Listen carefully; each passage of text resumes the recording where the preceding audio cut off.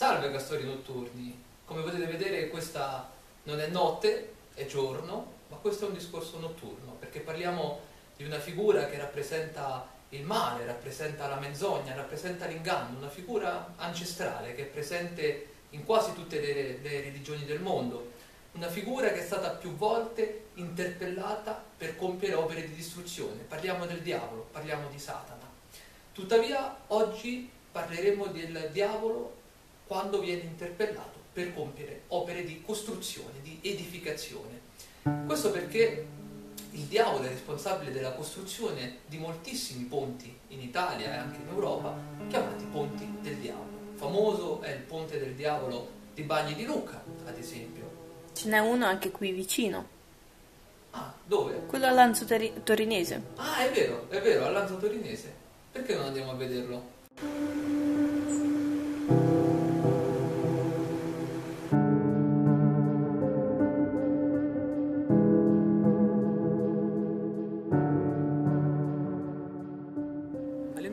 Ponte del Diavolo. Fu costruito nel 1378.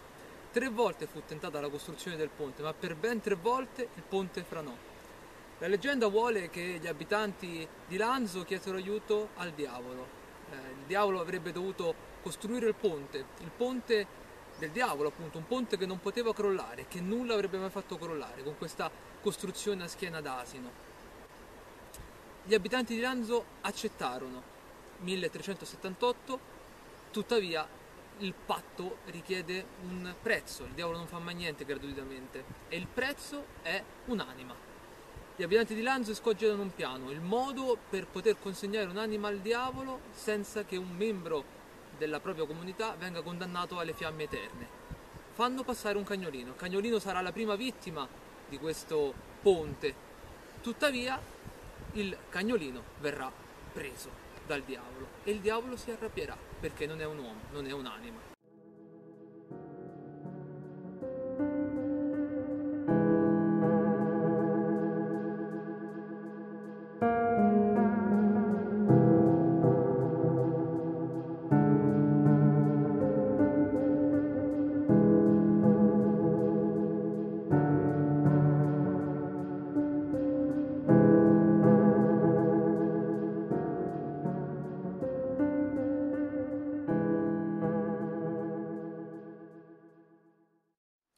Furioso a causa di questo affronto da parte dei cittadini, secondo la leggenda il diavolo si arrabbiò tantissimo, sbattendo gli zoccoli sulle rocce di entrambe le montagne, creando così delle marmitte. Ora sono chiamate le marmitte dei giganti. Ecco, questa è una delle marmitte, infatti le più piccole sono situate più in alto e sono di solito più, più antiche e secondo un'altra leggenda, un'altra versione, queste marmite dei giganti sarebbero state utilizzate come, come calderoni per le minestre preparate eh, da, parte, da, parte, del diavolo per, per i costruttori appunto di questo ponte. In realtà questo fenomeno è spiegabile dall'erosione dell'acqua, che passando velocemente infatti questo fiume Stura, con le sue acque vorticose e forti, eh, crea queste forme all'interno delle rocce, appunto le marmitte dei giganti.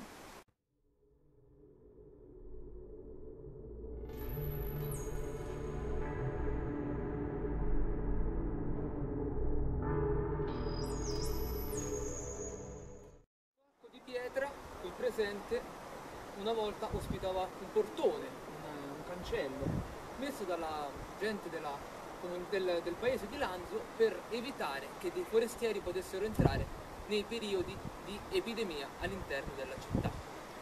Ora naturalmente il cancello, la porta non esiste più, forse dall'incuria del tempo è stata semplicemente asportata e questo è ciò che ne rimane.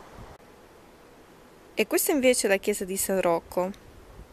Infatti è proprio all'inizio del ponte, per questo il ponte delle volte lo chiamano anche il ponte del rock.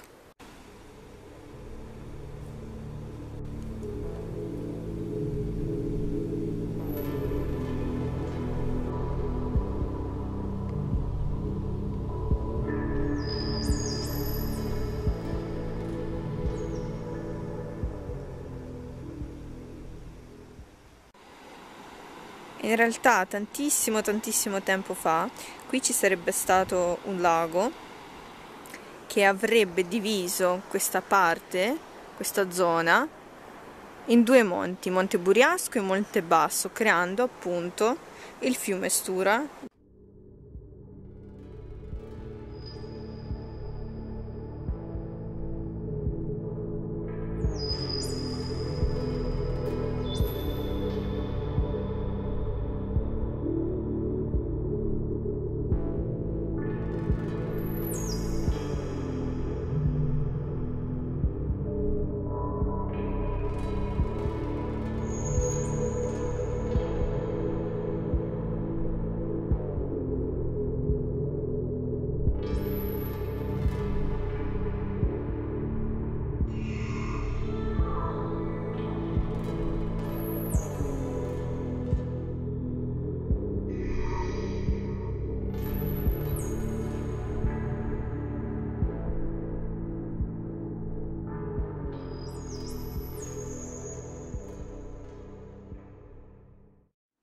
costruzione del ponte fu voluta dai principi Sabaudi poiché il ponte fu eh, fin da subito un'importante rete viaria, vi, eh, vi passarono eh, mercanti, vi passarono gente, pellegrini, proprio perché il ponte andava a collegare le, eh, la valle di Susa con la valle d'Aosta, in quanto le valli di Lanzo, appunto di cui fa parte eh, Lanzo torinese, di cui fa parte il ponte del diavolo, si trovano proprio al centro di queste due vallate. Diciamo tutto live. No, hai dimenticato di dire anche di Torino. Ah sì. Quindi va rifatto? No. Che questo ponte era importante anche a collegare Lanzo con Torino, Certo. sia per trasporti che commerci. Quadratura diretta? Hai capito com'è? Ho capito com'è. Lo facciamo? Sì, dai. Aspetta, fammi togliere questo.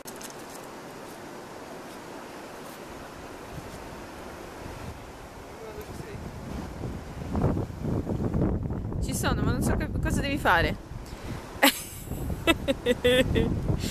e che non salti? Non salti? Perché? Come perché? A parte che so vestito, ma poi non so manco se sta con il petrolio dentro, non lo so. Qual è Non petrolio? lo so, è bella, ma potrebbe Acqua montana? Contaminata, No. procarioti. non stai facendo un esame, calmati. È lo stesso effetto che fa. Quale, quale? Non ho capito. Adesso prendiamo questo sasso. Sì. Tu riprendi in POV, no? In POV. Point of vision. Ah, riprendi, così sembra come se il sasso so io. Perfetto. Manco la panza copre il sasso, però capito con qualche gioco gratis. Sì. No, vai, vai. No, tu devi tirare il sasso. No, tira il sasso tu. Dai, sono pronta. Certo, sto facendo già. Ma non devi prendere me però, eh. Eh, lo sto facendo. Dimmo come casca dentro. Pronta?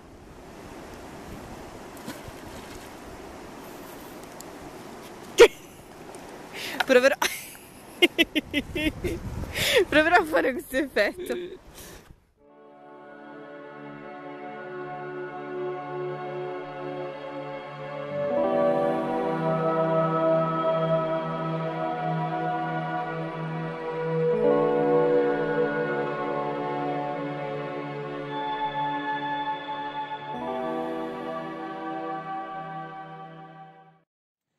Ponte del Diavolo è inserito all'interno di un parco, il Parco del Ponte del Diavolo, voluto intorno agli anni 70 del 1900, quindi è molto recente.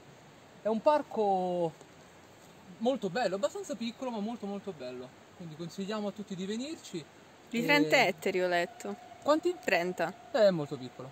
Però è possibile apprezzare secondo me un tramonto bellissimo. Sì. Dal, dal Ponte del Diavolo, con lo sguardo rivolto naturalmente verso ovest, il sole è veramente bello.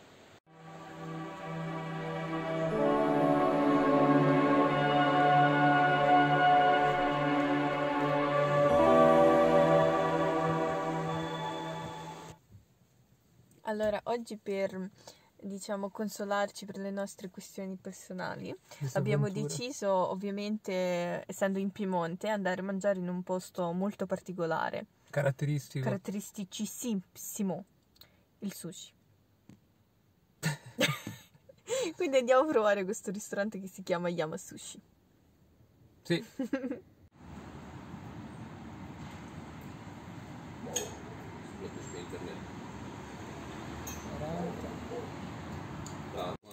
Non ho preso il Sì, amore.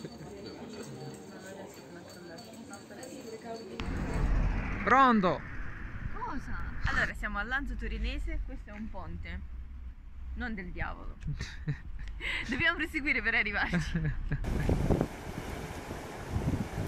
Sto andando così bene! Continua, continua. Come passa l'acqua? Cosa devi fare?